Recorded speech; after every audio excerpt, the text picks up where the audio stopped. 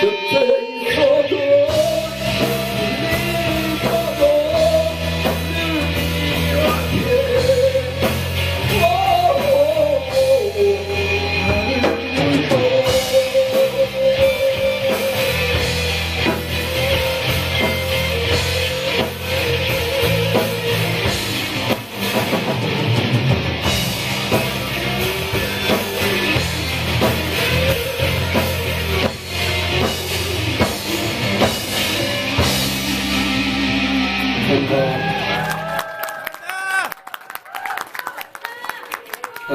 뻔뻔하게 저희가 앵콜곡도 준비했거든요. 네, 그럴 줄 알았어요, 제가.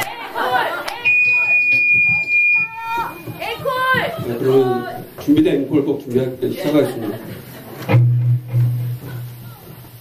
이거는 저희 first 기타인 연희가 후반부에 기타가 진짜 압권이거든요. 그래서 저희 지인들이 많이 온다 그래갖고 꼭 해야겠다고